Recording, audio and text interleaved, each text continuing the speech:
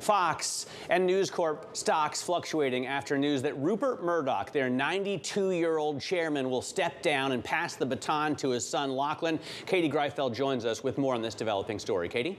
Well, Matt, yeah, like you said, this is breaking huge news in the media space. Rupert Murdoch stepping down as chairman from both the Fox and the News Corp boards, moving into the chairman emeritus position and making way for his son, Lachlan Murdoch, to become the sole chairman of News Corp in addition to his roles as executive chair and chief executive officer of Fox. Now, in a statement Thursday morning, Lachlan Murdoch congratulated his, his father on, quote, a remarkable 70-year career. Of course, Rupert Murdoch, age 92, he built what is now a global media empire over the course of those second de decades. You take a look at the shares right now fluctuating. We can go ahead and call that unchanged. And let's check in on some other media movers this morning, Matt, since this news lands as the writer and actor strikes grind on over in Hollywood. Warner Brothers Discovery and Paramount shares, though, slightly higher this morning. This, the Writers Guild and the Hollywood studios said that they would meet for a second day, maybe a sign that these two sides are